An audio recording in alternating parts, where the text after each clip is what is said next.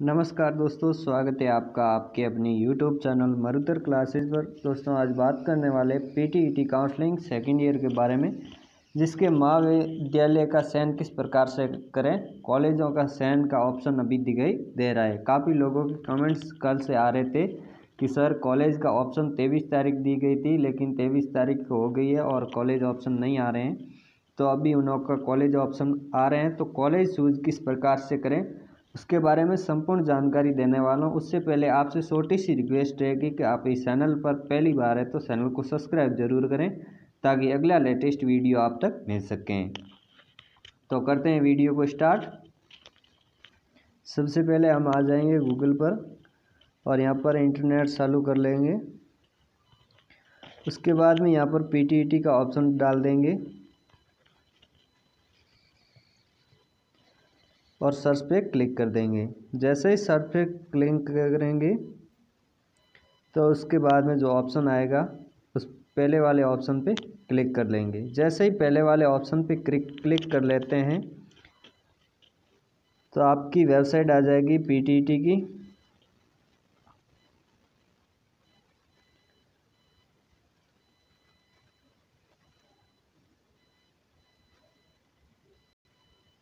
तो दोस्तों पीटीईटी की ऑफिशियल वेबसाइट आ गई यहाँ पर सेकंड ईयर पर क्लिक करेंगे, जो कि हमेशा ही करते हैं।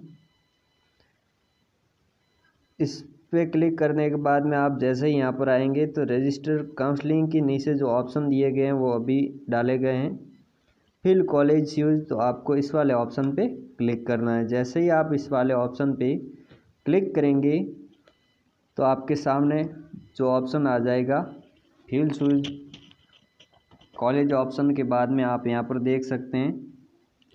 तो यहाँ पर जो रोल नंबर है वो डालने पड़ेंगे, सेल नंबर डालने पड़ेंगे, नाम डालना पड़ेगा और फादर्स नेम, मदर्स नेम और जो पासवर्ड आपने जो पहले कंफर्म किए थे जो फ़ीस भरी थी उस समय जो कंफर्म किए थे वो पासवर्ड यहाँ पर डालने पड़ेंगे और उसके बाद में यहाँ पर लॉगिन पे क्लिक करना पड़ेगा। जैसे ही आप लॉगिन पे क्लिक करेंगे तो आपके सामने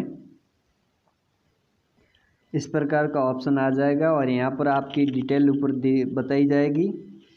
यहाँ पर और उसके बाद में यहाँ पर कॉलेज शूज़ का ऑप्शन यहाँ पर दिखाई दे रहा तो आपको यहाँ पर क्लिक करना है। जैसे ही आप यहाँ पर क्लिक करेंगे तो आपके सामने इस प्रकार से कॉलेज शूज़ करने का ऑप्शन आ जाएगा।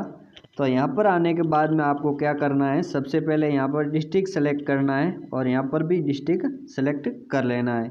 जो भी आप जितना भी डिस्ट्रिक्ट सेलेक्ट करना चाहते हैं, यहाँ से कर सकते हैं और यहाँ से भी कर सकते हैं। उसके बाद में आप नीचे आ जाएँगे। तो नीचे आने के बाद में यहाँ पर आपको कॉलेज बता दिए जाएँगे।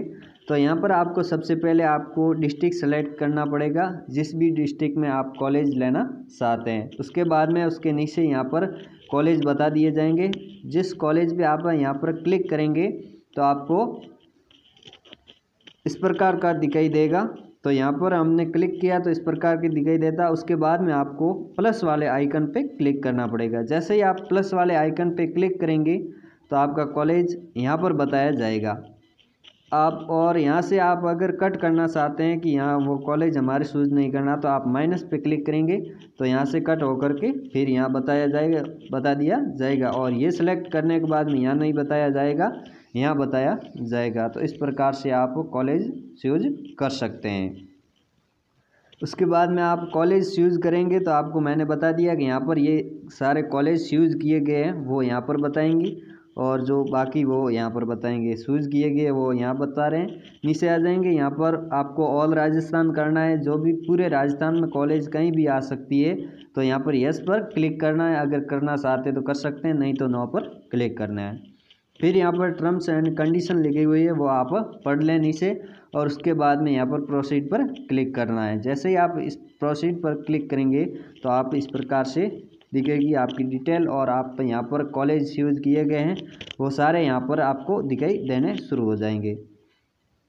तो इस तरह से आप देख सकते हैं, जो भी आपने कॉलेज यूज़ किया है, वो यहाँ से आप देख सकते हैं। फिर यहाँ पर आप प्रिंट भी ले सकते हैं। ये इस प्रकार से प्रिंट आ जाएगी। अगर आपने लॉक कर लिया है और सेव पर क्लिक करेंगे तो आपको इस प्रकार से दिखाई देगी। जैसे सेव पर क्लिक करेंगे तो इस प्रकार से प्रिंट भी आपको निकलने का ऑप्शन आएगा। तो यहाँ पर आप प्रिंट भी निकालो सकते हैं। तो इस प्रकार से ये तो दोस्तों हो गया कॉलेज शूज़ उसके बाद में अपडेट सेंड कॉलेज सर्च तो अगर आप में कोई बदलाव करना चाहते हैं तो इस वाले ऑप्शन पे क्लिक करना है। जैसे ही आप इस वाले ऑप्शन पे क्लिक करेंगे तो इस प्रकार से आपको वही डिटेल मांगी जाएगी, जो रोल नंबर वगैरह सारी वो भर करके लॉगिन हो जाना, और आप जो भी बदलाव करना चाहते हैं, उसी तरह सा ऑप्शन दिखाई देगा, और उसी प्रकार से आप कर सकते हैं।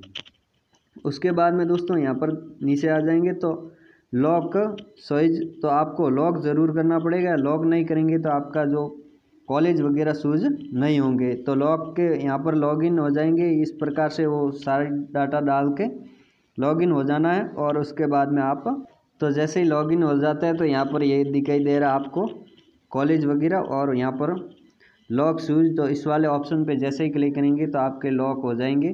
फिर आप इसके अंदर कोई भी बदलाव नहीं कर सकते और यहाँ पर आप कॉलेज वहाँ पर आपको इसी को, जो चूज़ किए गए हैं, इसी में से आपको कॉलेज मिलेगी या फिर ऑल राजस्थान किया है तो ऑल राजस्थान में कहीं भी आपकी कॉलेज मिल जाएगी। तो आपको लॉक्स यूज़ ज़रूर करना पड़ेगा। नहीं करेंगे लॉक्स यूज़ तो आपको यहाँ पर जो आगे आपकी जानकारी वो नहीं जाएगी।